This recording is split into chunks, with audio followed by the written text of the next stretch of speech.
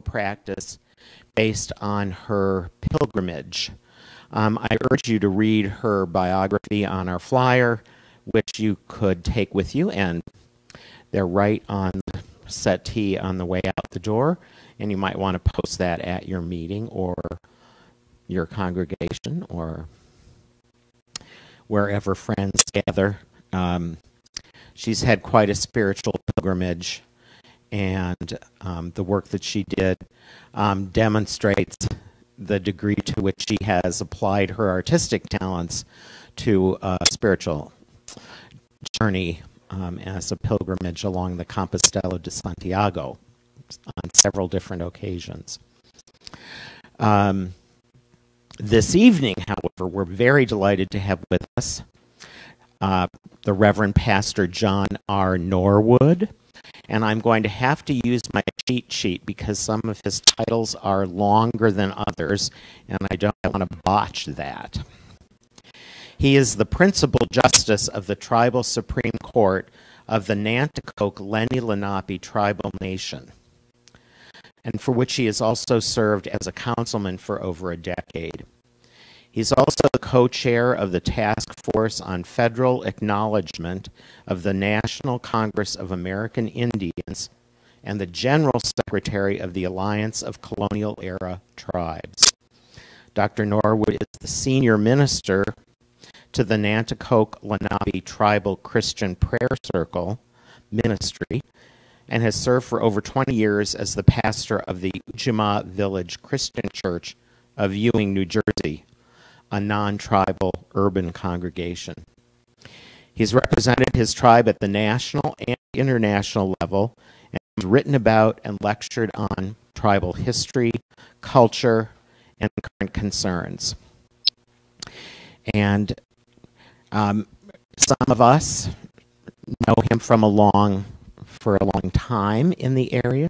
Folks from the Philadelphia Yearly Meeting Indian Affairs Committee, some of us, Paula among them, met met um, Dr. Norwood um, as he was part of the delegation that was attempting to uh, reach out to Pope Francis to have the doctrine of discovery repudiated by the Catholic Church, um, including folks from Guatemala and other parts of um, North and Central America.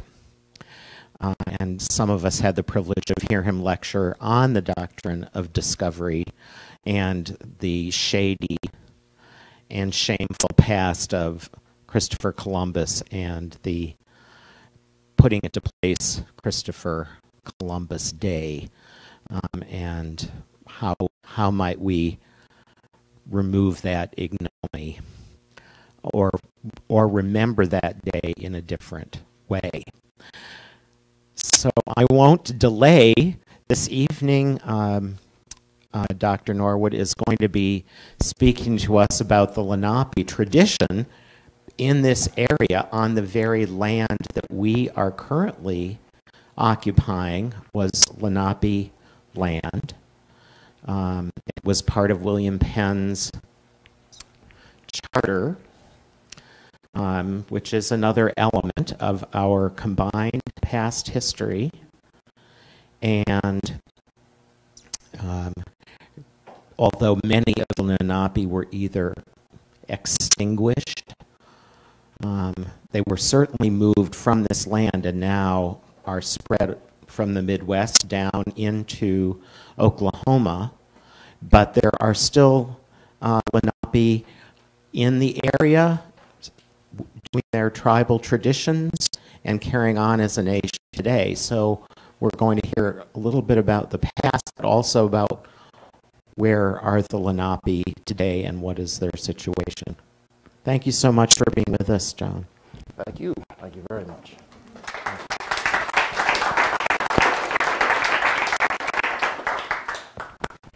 Want to thank the invitation from Mr. Mayor to come out and speak with you. We began talking about this, oh, maybe three months ago and have been in continual communication. I've been looking forward to it.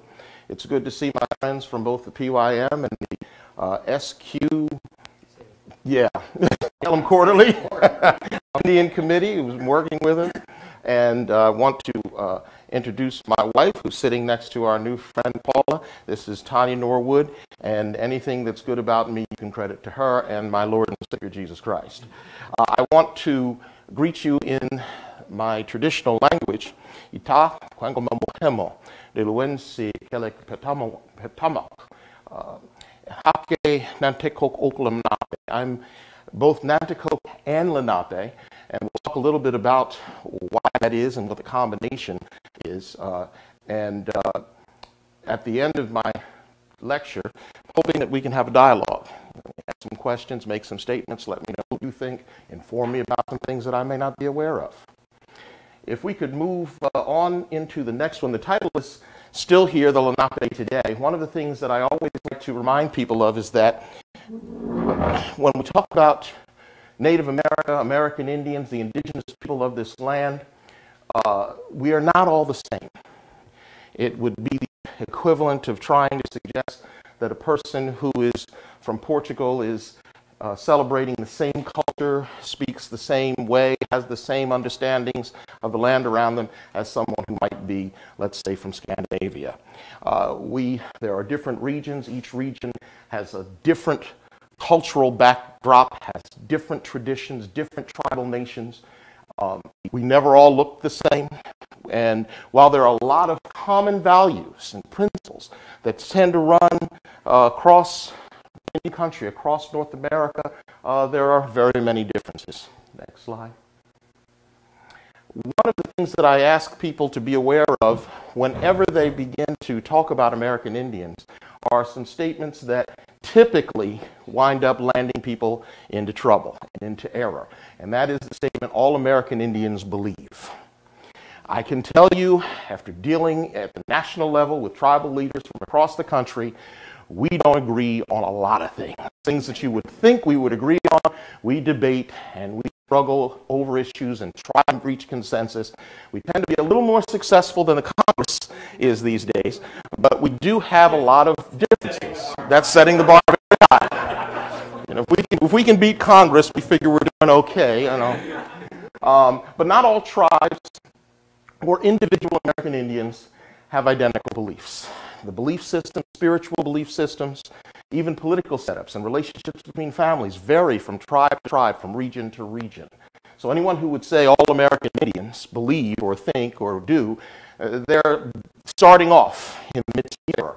Uh, and let me just clarify, I use the term American Indian, and part of the reason that I do that uh, because people have a lot of different opinions about this. And if you speak to tribal people, a lot of tribal people have different opinions about this. Uh, people have said, well, don't you want to be called Native American? Matter of fact, I've had defenders jump in, and uh, when someone asks about American Indians, and someone who's a non Indian will think they're defending me and say, oh, they don't refer to themselves as that. But yeah, we do. Uh, quite a few of us do. And there's a reason for that. Terms Native American, American Indian, Indigenous American, First Nations people, uh, a lot of us will use those terms interchangeably. If you look at the older national intertribal organizations and even some of the newer institutions set up by those intertribal organizations, you'll see the term American Indian used. And people ask, you know, why would you do that? That was based on an error from Columbus, who didn't even know where he was when he got here. And uh, that may indeed be the case, but what we have to remember is our treaties use that term. A lot of the agreements, the land agreements, the compacts use that term. So it ties us in with the legal promises that were made to our people. And to abandon it you know, because people are always trying to tell us that they didn't make an agreement. So we don't want to give them another reason to say that it no longer includes us. One of the major reasons that I find is because the legal language in the United States, the laws of the federal government that, that do impact our people have used that term going all the way back. And so that is part of the reason you'll find so many national organizations still saying American Indian differentiated from Indian American, who is someone with an ancestry from the subcontinent of India. Uh, there are certainly common held beliefs and principles that a lot of tribes share, but a lot of differences, and because of this, there are a lot of misconceptions, and there's confusion. And there's a lack of understanding about differences in history that have impacted our people because the history here on the East Coast in regard to contact and colonialism is very different from the, the history out in the Midwest. And that history is significant and it impacts how we uh, engage the uh, governments around us, how we are depicted sometimes historically, and we'll talk a little about that. Next slide. Some of the common practices, just so you are aware that we do have a few things in common. Uh, one is smudging. Some of you may be aware of this. I know that those of you who have come to worship uh, at our prayer meeting are very much aware of this. You'll see at many public ga gatherings, and sometimes if you're watching a movie that depicts anything accurately, you'll see Indians wafting smoke. They'll be burning something and smoke wafting up. Sometimes they'll fan it with their hands, sometimes they'll use a prayer feather. And that's medicine. Typically, it is cedar, sage, sweet grass, tobacco, sometimes pine.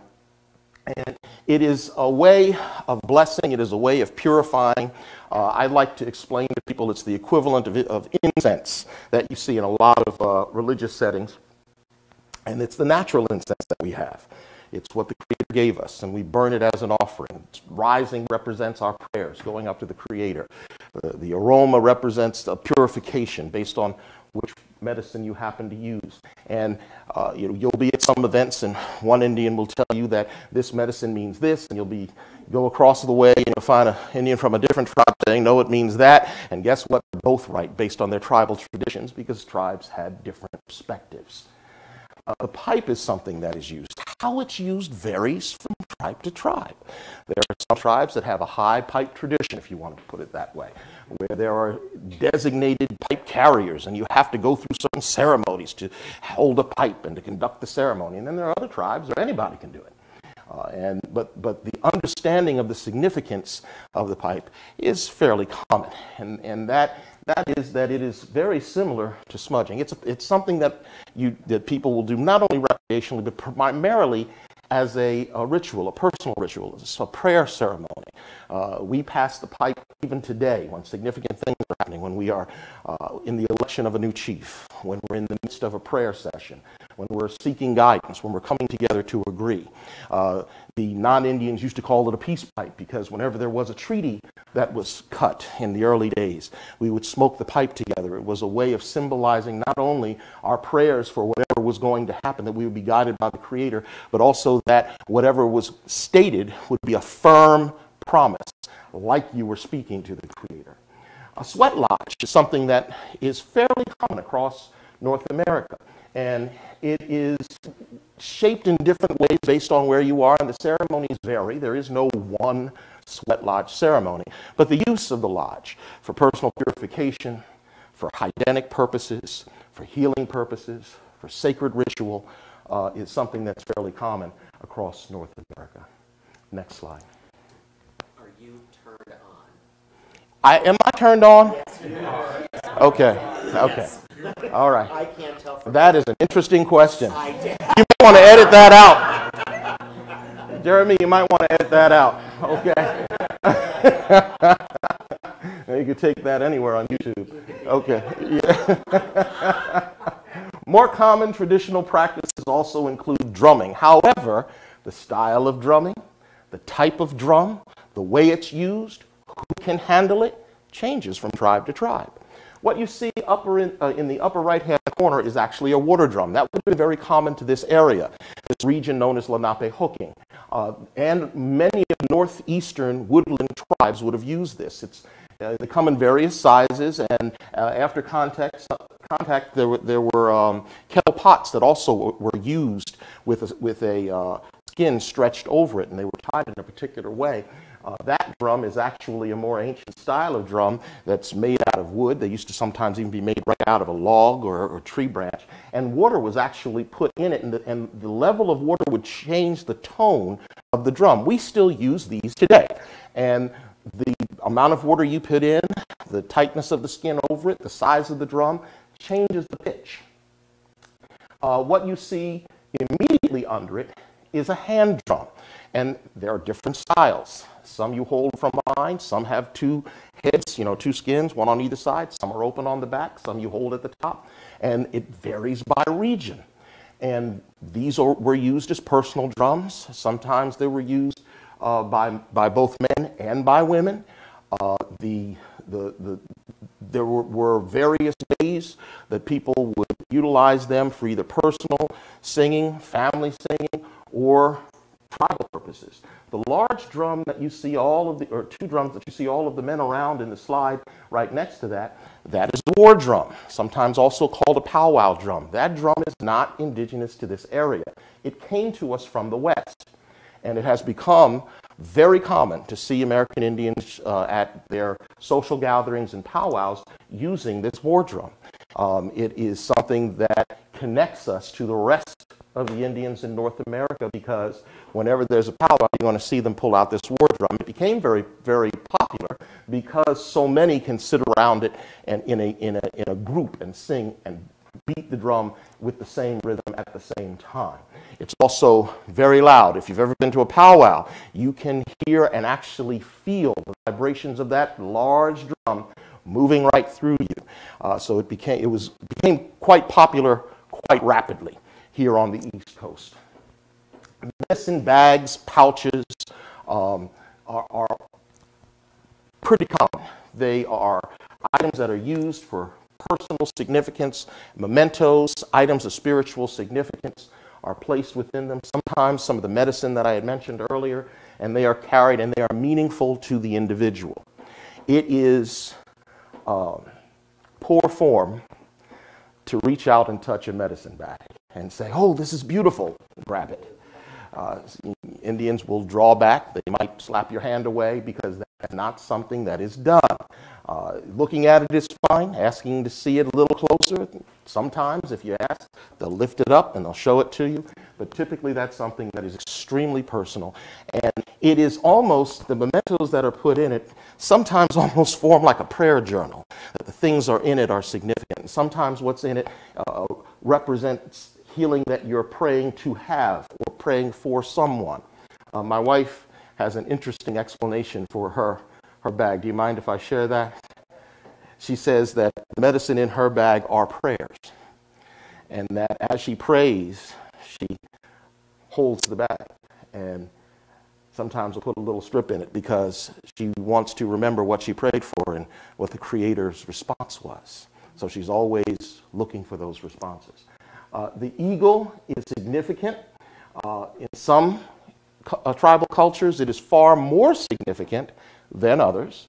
Uh, others, the turkey actually is the, has an equivalent or superior significance to the eagle. But uh, the eagle is typically seen as uh, a messenger to heavens. The feathers are a sign of honor and bravery. It's something that you earn uh, which is why it's actually quite offensive when mascots are running around with these eagle feathers all over the place, because it is something that is significant that is earned. Sometimes feathers are passed down through families.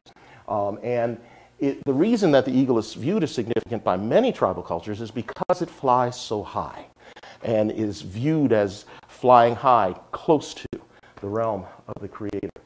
The observance of the four directions, even though some of the uh, symbols of the directions will vary from tribe to tribe. The colors will vary from tribe to tribe.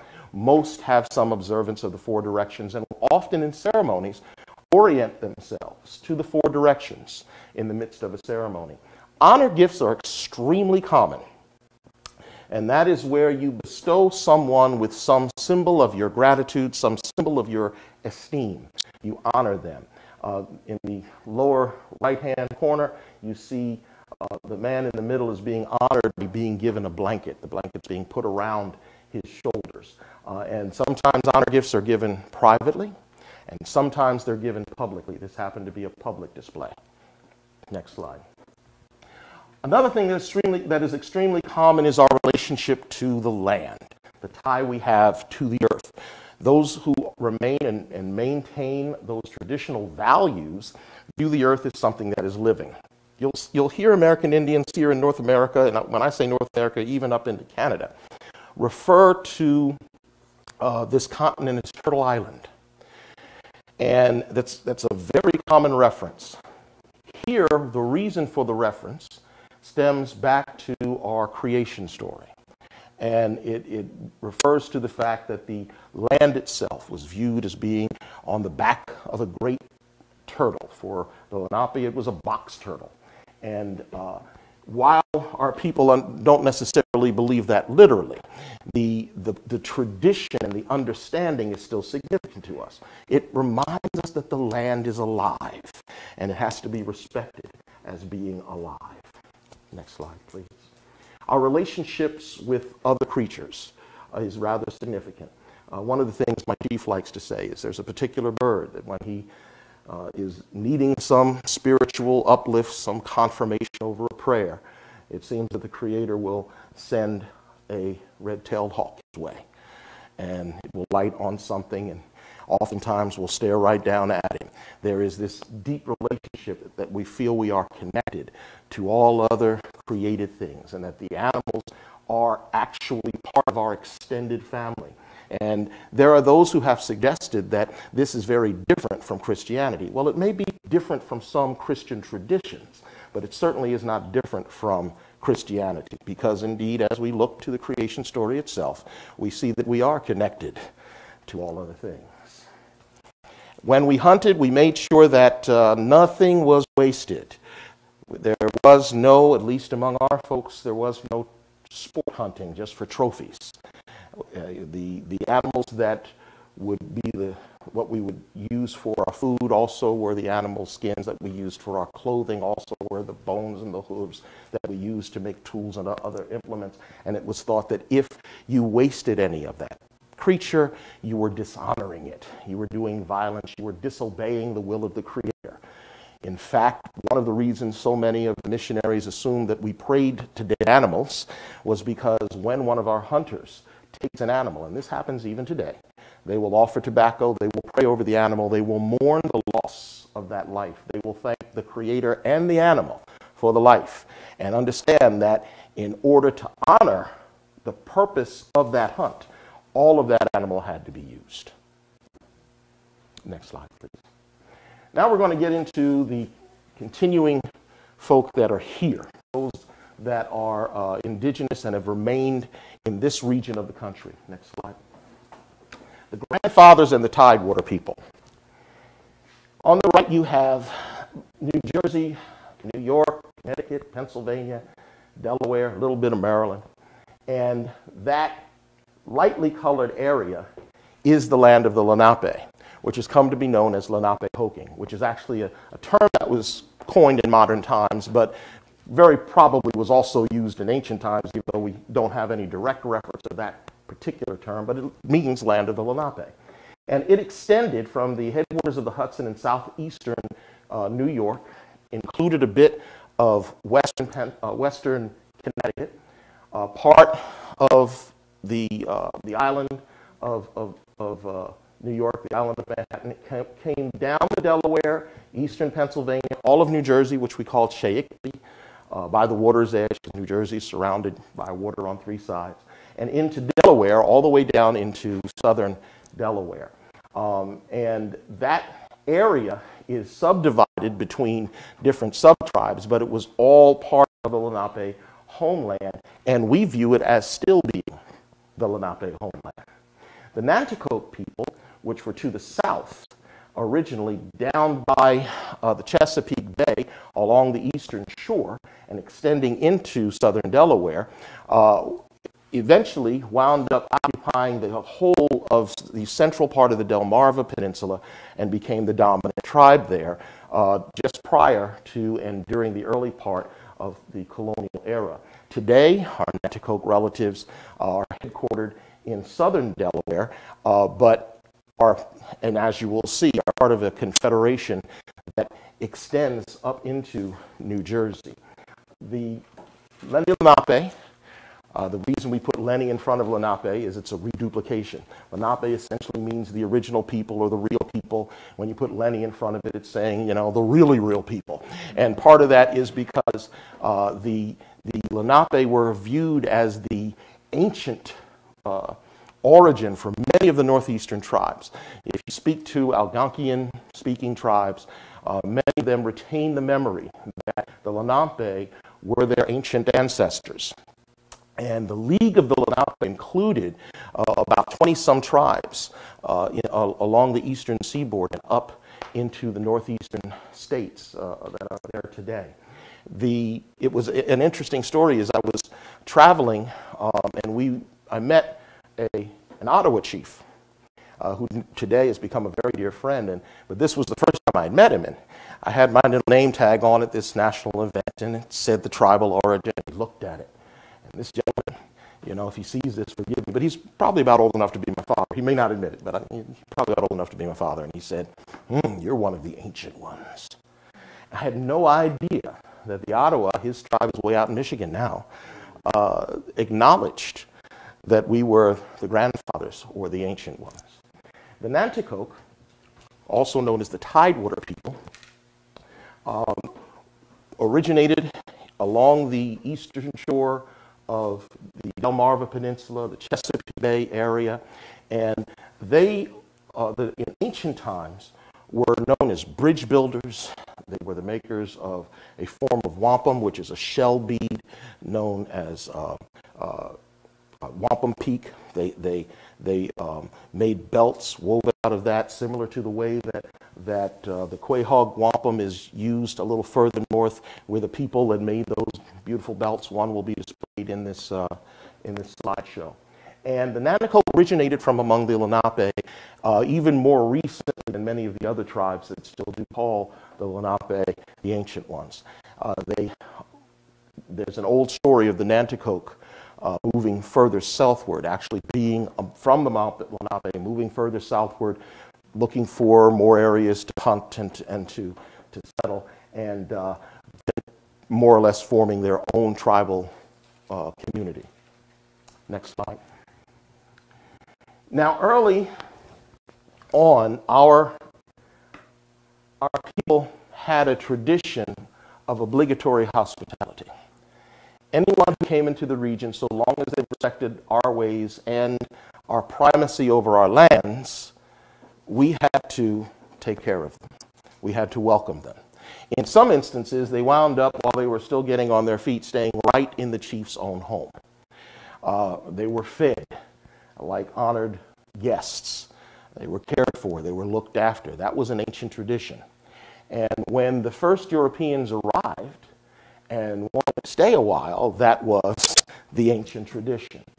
What's interesting is that the Nanticoke, by the time John Smith uh, came up the Nanticoke River, uh, we had had so many negative engagements that our first response was kill him because there were Nanticoke that had been snatched and uh, taken from our people.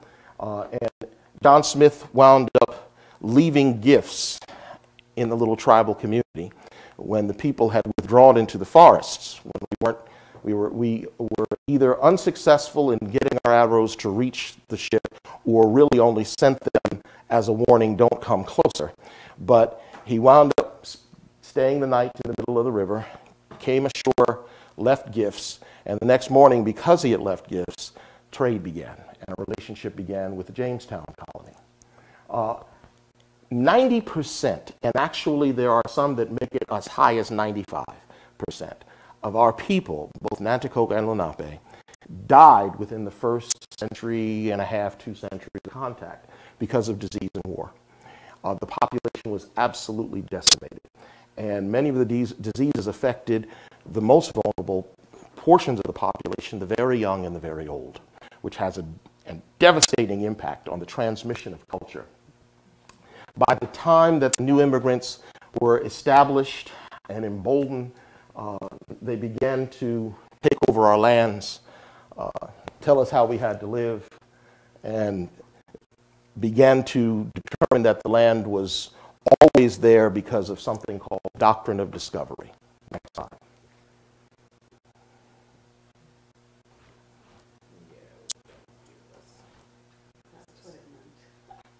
Okay. Escape for a minute. Okay. Maybe we will escape. Well, as you figure out, well, as you figure out about the slide. Yeah.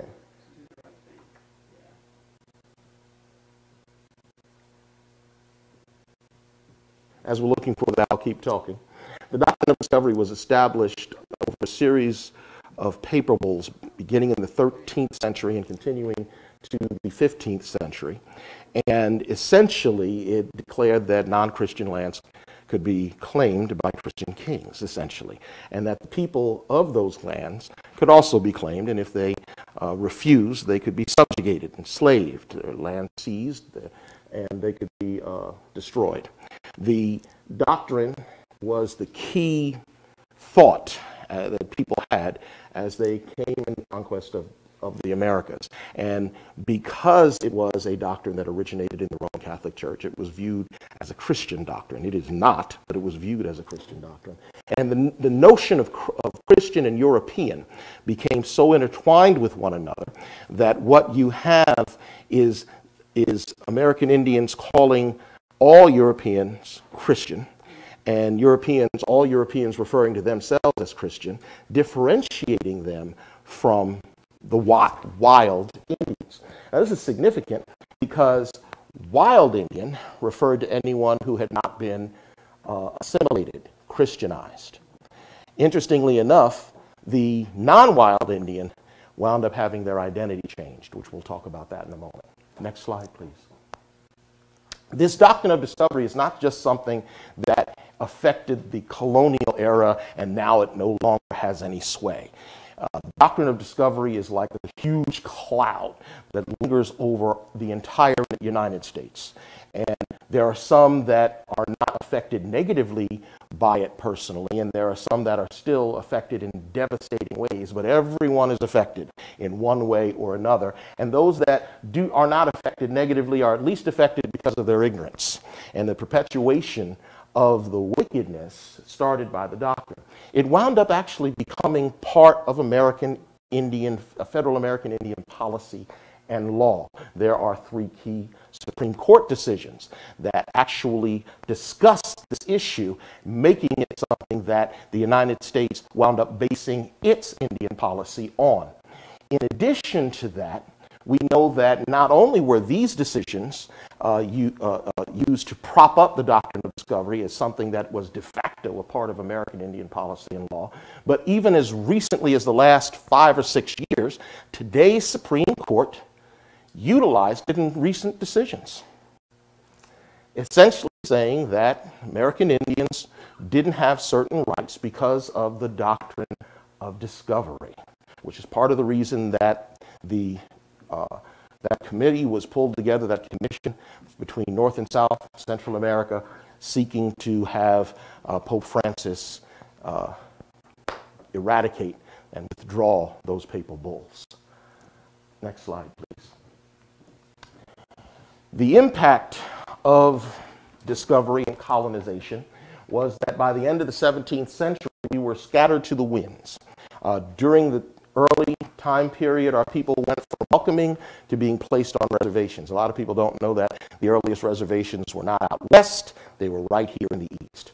And some of the very first reservations were in this very area. Uh, in the Delmarva Peninsula in the late 1600s, there was reservations set up for my ancestors. And in New Jersey in the mid 1700s, there was a reservation set up. And there were unofficial Indian towns that were established by practice, if not, if not by local colonial law, that dotted the landscape. Many of these communities continue today. The one that we hail from is one of those spots.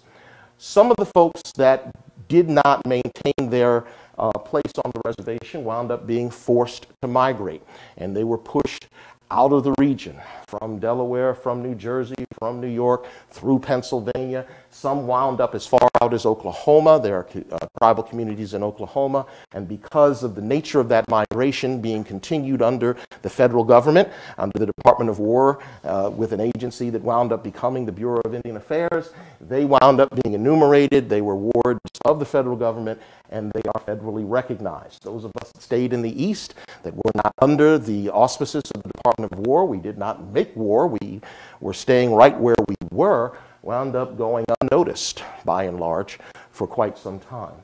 Uh, the, those that remain wound up coalescing into small tribal communities. And those communities uh, maintained their identity by knowing where the other communities were. And those that migrated early on remembered that we were here. For example, up in Canada, uh, there are those that called us the keepers of the land. And when some of the people from my tribe visited some of the people up there, their elders wept because they were seeing the keepers of the land, the ones that maintained the land that they had been forced to leave. The misidentification of those of us that remained began to occur because we were no longer considered, considered wild Indians. We weren't, uh, and this was a legal definition, by the way, in Delaware during the colonial era.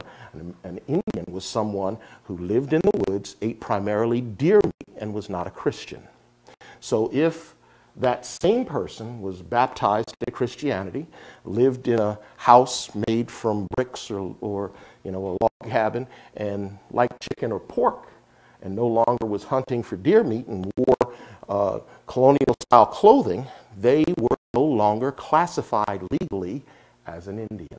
There are actually ancestors that we have seen on uh, in certain colonial records that are an Indian one minute and mulatto the next, simply because of baptism. Uh, there are those that are classified as uh, free persons of color, and, are, and that meant anybody who wasn't white. And if they weren't Indian living in accordance with that legal definition, they actually had a racial change. This is a form of administrative genocide, the reassigning of race. Uh, please, next slide. Remaining in our area are several tribal communities that are identifiable historically. And what I mean by that is we can trace their origins back at least 100 years or more. Uh, and in the northern part of New Jersey, the Ramapo Lenape Nation uh, actually straddles the line between northern New Jersey and New York. Uh, they are up there in the mountains. And um, uh, I, I, think they're, they're, they're comprised on either side of about 4,000 uh, tribal citizens. They have their own government that they have maintained, uh, elected chiefs and sub-chiefs, and uh, we, we do fellowship with them. a little further south are the Sand Hill Indians. Now, these folks are a blend of Cherokee and Lenape. Some Cherokee folk were in the Great region, married in to some Lenape families that stayed. Um, there are uh, several family lines that have maintained connection to this little area called Sand Hill. Um, and we acknowledge them as uh, in, an indigenous community. There is uh, some question as to whether they still have a formal tribal government, and I, I, would have to contact them to find out. I know that they have maintained their identity and that they actually have a historical society and uh, an online museum, and there are some wonderful people and are very much aware of their culture and their history. The uh, Powhatan Lenape Nation, these are folks that came up from Virginia, the Powhatan tribes of Virginia. Many of them are Rappahannock um, and uh, Pamunkey, and their families moved up middle of the 1800s by and large, intermarried with the Lenape that still remained in the, in the region. Many of them intermarried with our people, and the names actually are Nanticoke Lenape names. Uh, uh, one of the gentlemen that actually helps to uh, coordinate their leadership is the Nanticoke Indian, um, whose, whose family also hails from Virginia. One side of his family is the Virginia Indians, and the other side is, is Nanticoke. They moved up into the area around Morrisville and Pennsauken, right across uh, the river from Philadelphia, and stayed there. Uh, in the south, we have the Nanticoke Lenni Lenape Tribal Nation. That is my nation in the area of Cumberland County. Uh, and the Lenape Indian Tribe of Delaware and the Nanticoke Indian Tribe of Delaware are both further south. One is in Kent County, one is in Sussex County, and they have been there since colonial times, just like we have. And the, the last three tribes that you see are the same folks, same families, intermarried for generations, and are documented well back into, I think we are, we've been able to document our genealogy back uh, to the 1500s in those areas. So uh, we've, been, we've been there, uh, according to our own tradition, for thousands of years and documented since the early days of contact. Next slide, please. Now, those three communities that I spoke to you about, uh, the Nanticoke Lenape in southern New Jersey, the Lenape Indian tribe in the area around Dover, Delaware, a little town called Cheswold, and the Nanticoke Indian tribe in southern Delaware, Sussex County, in, headquartered around the Indian River in a town called Millsboro, uh, are in a confederation. And there's an intertribal union of the three governments where our chiefs come together when we speak and deal with international affairs, dealing with the federal government of the United States, dealing with other governments, where we speak with a single voice. Over local matters, each tribe has its own leadership and government, and they deal with their own situation. Uh, interestingly enough, among those tribes, everybody's interrelated. And part of the reason was for about 150 years, marriages that were deemed to be acceptable by the tribal elders were marriages between the three tribes. And so each of the gentlemen you see there is a distant relative of the other, and I'm related to all three of them. You really can't shake a stick without hitting a cousin. Matter of fact, the, lines are so intertwined, we invented new languages. We have double and triple cousins uh, because of the way that the lines have continued to intertwine. Next slide, please. Now, our three communities uh, are historically interrelated and self-governing. There, there's always been some form of self-governance even after the breakup of the traditional chieftaincies, uh, that the community stayed together and continued to govern themselves uh, on the Delmarva and in southern New Jersey. And the families that made up those communities have been studied for centuries by anthropologists, have been documented by both the local and federal government, and in fact have even been studied by international scholars. Enrolled citizens in each of, our tribes have to meet rather stringent standards. You can't just simply say, I think I'm Indian, can I be a member? Um, you, you, know, we we, have become more open within the past uh, 20, 30 years or so, where we are welcoming of uh, non-Indian friends and volunteers to actually get close to the community, to work with the community, to come among us. Um, and that's a new move because prior to that, we had reason to be afraid of that uh, because it tended to wind up causing rather disastrous things happening to our people. But in order to be a citizen with the tribe, you have to be able to document your descent from our core tribal families. You've got to be related to the specific families that have continued in these regions uh, from time immemorial and you have to have a close blood relationship. What we call blood quantum a measure has to be met in order for you to enroll as a tribal citizen. The issue of the blood quantum requirement is something that was placed upon us. It's not a standard that American Indians ever used traditionally. Something that was put on us by uh, the United States government, this measure of, you know, full bloods, quarter bloods, half bloods.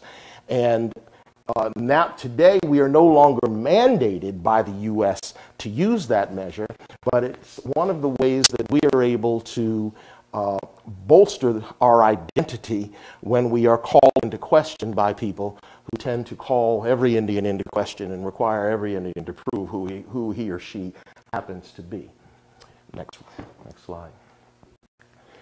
One of the things that's very important to our people is that we try to keep our people together. Uh, that scattering to the winds means that we no longer will be a people. We are the remnant that remained, the few that stayed, that continued to live on the land, to, to watch over the bones of our ancestors. And from the 1600s, Nanticokes began to come, come up further for the, the little communities that were coalescing uh, for survival purposes, forming little Indian towns. Um, and intermarried with the remaining Lenape, south, southern, excuse me, central Delaware and southern New Jersey. And thereby we have this uh, interconnection between the Nanticoke and the Lenape uh, from around the Delaware Bay. And in southern New Jersey, it's interesting, you know, I'm here at, a Quaker retreat center. I always like to, to kind of celebrate this fact. One of the things that our elders remind us about is that if it weren't for the Quakers in southern New Jersey, we may not have been able to stay in southern New Jersey. Very early on, uh, as the Quaker communities came in, uh, and the, the British wound up taking over the region because we had had uh, dealings with the Swedes and with the Dutch prior to the British. When the British came in and the Quakers began to establish uh, their presence in the region, the southern part of New Jersey was dominated by Quakers. And uh, there were areas that were left untouched, called Indian Fields, where our people continued to live in the old way. Um, and for the most part, we were left alone. And in those areas in Cumberland County, you find the same families even today, making up the core families of the Nanticoke Lenni Lenape from southern New Jersey. And for many generations in Delaware, our people were segregated. Uh, and we had our own churches, even in southern New Jersey, we had our own church, or have our own church. And uh, we had our own social events. We had our own schools, started right from the tribal communities. Next slide, please. These are the core churches of each of the tribal communities of the Nanticoke Lenni Lenape people. Uh, in the, the, the one up at the top is the Indian Mission Church among the Nanticoke way down in Millsboro, Delaware. And it is the congregation that has maintained its connection to the tribal community as a core tribal church, where the tribal government itself was in the church for many, many years, for generations, before coming out and separately forming uh, under a constitutional form of government with bylaws and elected leaders. The leaders of the church were the leaders of the tribe. Same thing in central Delaware, in the area of Cheswold, with the Emmanuel Union Church. It was another church established by our people, for our people. Interesting story. There is a newspaper article from 1892 where one of our elders is quite proudly indicating that we welcome anybody to visit, but you can't join unless you're one of our people. And the reason was not because they didn't like other folks, but that's where the tribal government was. And if you could join, you could vote. And if you could vote, you would influence the tribal government decisions so that the government and the church were the same thing. In uh, southern New Jersey, the St. John's United Methodist Church, all of these churches, by the way, are United Methodist today, uh, is same, very similar history um, in southern New Jersey. Each of these churches has been designated by the United Methodist Church as, as historic American Indian congregations. And they wound up undergoing uh, the, the, the one in Millsboro and the one in New Jersey, there were church splits because of demographic shifts in communities and demographic shifts in the church where non Indians were becoming pro- prominent portions of the membership. Churches wound up splitting because that was where the, where, the tribal government was. Um, that's not the case anymore. The tribal governments for each of the, each of the uh, communities is we have elected councils. Um, but in that day, church leadership was tribal leadership. Next slide. And by the way, that was very common up and down the East Coast. Uh, I've been up and down to several tribes, and you will find that just about all of them have some core church that kept them together for about 150 years when it was just about